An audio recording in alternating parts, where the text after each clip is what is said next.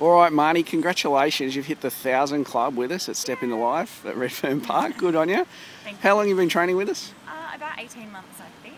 Fantastic. And what have you achieved in that time? Um, I have lost quite a bit of weight. Um, my goal was 27 kilos, and I've hit that so far. Wow, in Um, 18 months. Yeah, 18 Fantastic. Months, so a lot of early morning boxing classes and Great. Um, four times a week training.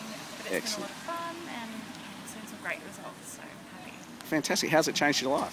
Yeah, um, I can wear what I want to wear. I feel so much better. Um, I feel a lot happier, um, and things are just so much easier. Um, just things like playing tennis and walking. And I feel like I want to be more active, and I can eat what I want.